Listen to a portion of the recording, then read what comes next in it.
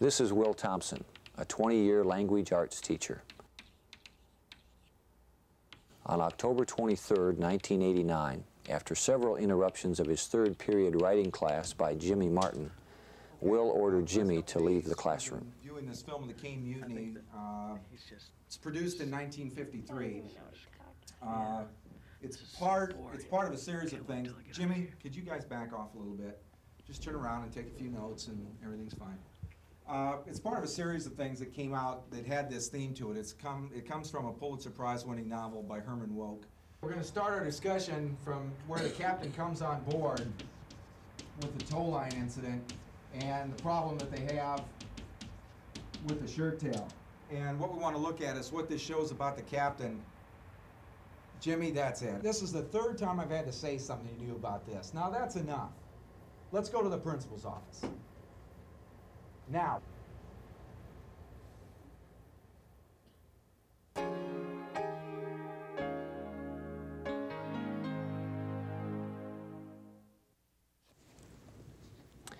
Hello, and welcome to a program by the Iowa State Education Association, which we hope will help to make your job a little bit easier. My name is Jim Smith, and I am the Associate Executive Director for Advocacy Services. Experience tells us that teachers generally tend to be warm, tender people who are in the classroom because they like contact with their students and because they feel they can contribute to their students' growth and development.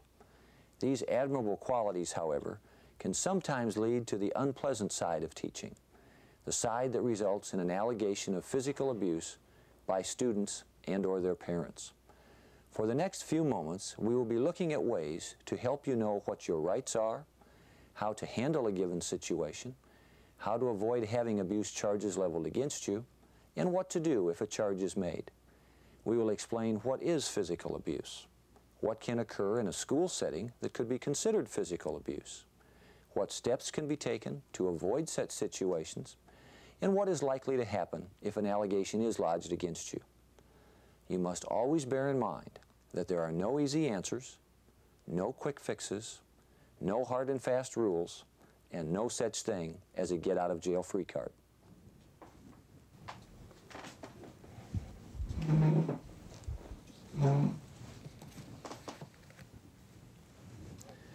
There are a number of steps that you can take to avoid allegations of physical abuse.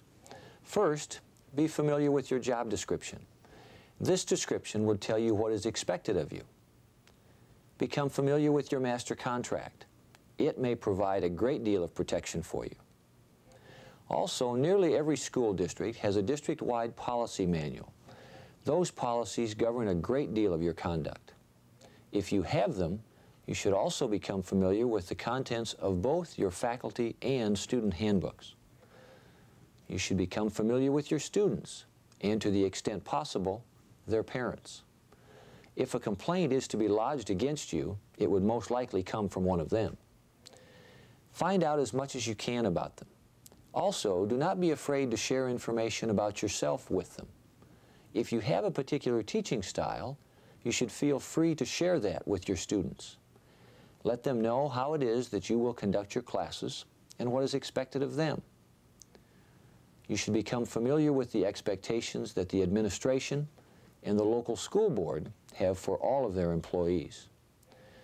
Perhaps most important of all, get to know your local education association officers and representatives. The association is, after all, your first line of defense. Don't ever hesitate to ask for help at the first sign of any trouble. Here are some general guidelines for teacher-student contact. It has never been improper for a teacher to have physical contact with students. Contact that is reasonable and made for the right reasons is not only allowed, but oftentimes very advisable. Physical contact with a student becomes physical abuse if a non-accidental physical injury to a student results from the actions of a school employee. Injury occurs when the evidence of contact is still apparent at least 24 hours after the incident. Physical abuse may occur as the result of the intentional infliction of injury or the use of excessive, unnecessary, or unreasonable force. The analysis of a given situation, then, necessarily involves the following questions. Were the parties involved a student and a teacher? Was there physical contact between the two of them? Was the physical contact non-accidental? Did this non-accidental physical contact result in a physical injury to the student? And was the force used unreasonable? In determining the reasonableness of the force used, these factors must be considered.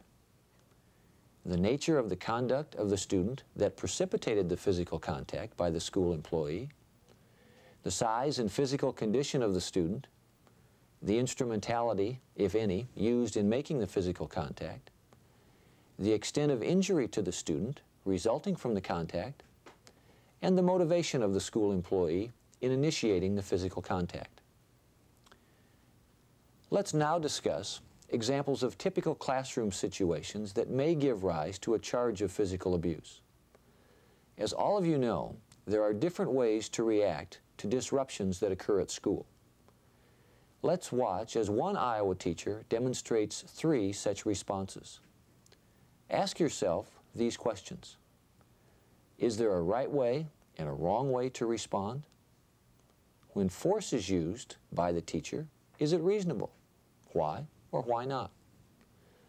Which of these examples is likely to result in a filing of a physical abuse complaint? Why or why not? And if filed, will the allegations prove to be valid? After reviewing each of these situations, you be the judge. You decide whether the situation gives rise to a legitimate allegation of physical abuse. Okay, we're going to start our discussion from where the captain comes on board with the tow line incident and the problem that they have with the shirt tail. And what we want to look at is what this shows about the captain. Jimmy, that's it. This is the third time I've had to say something to you about this. That's enough. We're through with it. Let's go. Down to the principal's office.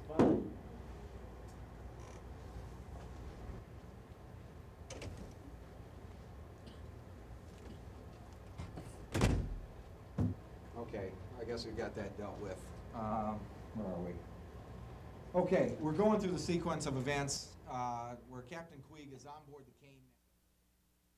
Most generally, this type of action by a teacher would be considered acceptable and would not result in an allegation of physical abuse being successfully lodged against one of our members. Okay, we're going to start our discussion from where the captain comes on board with the tow line incident and the problem that they have with the shirt tail. And what we want to look at is what this shows about the captain. Jimmy, that's it. This is the third time I've had to say something to you about this. That's enough disruptions. Let's go to the principal's office. Come on, let's go.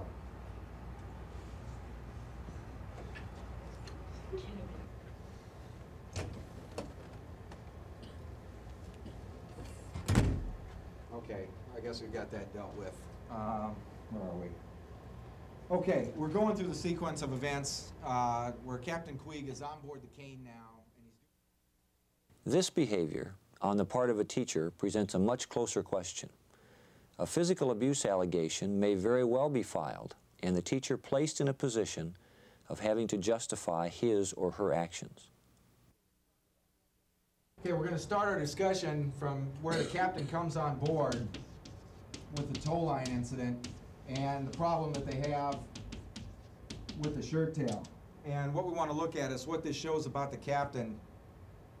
Jimmy, that's it. That's the third time I've had to say something to you about this. I wanted it knocked off. Now that's enough. You're going to the principal's office. Let's go. We're going to the principal's office. Come on, let's go.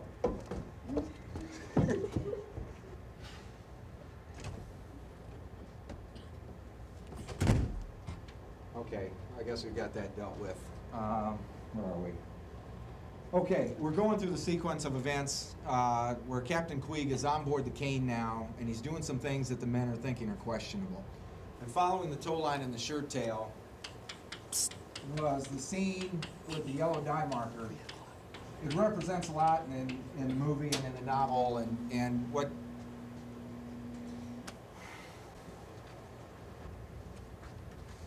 I told you to get to the principal's office.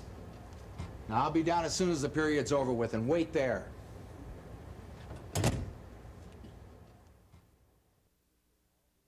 The chances that an allegation of physical abuse will follow are greatly enhanced when a teacher responds to a disruptive student in this manner. If any of these situations occur in your classroom, you should take immediate steps to defend yourself. Write down everything you can remember in sequence about what happened and why. Include background on any earlier problems that you may have had with the student, any prior warnings given, and any prior responses from the student. Describe in detail what the student was doing and saying at the time of the confrontation. Were there other students involved? Who were they? And where were they located in relationship to the incident? What could they see and what could they hear? The names of any possible witnesses should always be included in your written description. Are these witnesses likely to remember things happening the same way that you remember? If not, why not? Also, you should always make your immediate supervisor or administrator aware of the incident as soon as possible. Be sure to alert your local education association representative, the local president, and your UNISERV director. A decision can then be made concerning the necessity and advisability of any further assistance. The ramifications of an allegation of physical abuse need some further discussion. First, there may be some employment sanctions involved. A founded allegation of physical abuse may result in an administrator issuing the teacher anything from an oral reprimand to a termination notice. This action could be followed by the filing of a criminal complaint and or a civil lawsuit. The State Board of Educational Examiners may also be asked to review the teacher's conduct. This agency has the authority to suspend or revoke a teaching certificate. These actions have ramifications not only on your current employment, but on your future employability in the field of education as well. It's important to remember that all allegations of physical abuse, whether frivolous or not, must be considered serious. If an allegation arises, you do have a right to representation. Be sure to ask for help and advice whenever non-friendly physical contact with a student occurs. For further information on this important subject, we've prepared a resource packet called Dealing with Student Abuse. Copies are available from your local education association or directly from the ISEA Office of Advocacy Services. Thanks for watching, and may all of your students be a pleasure to teach.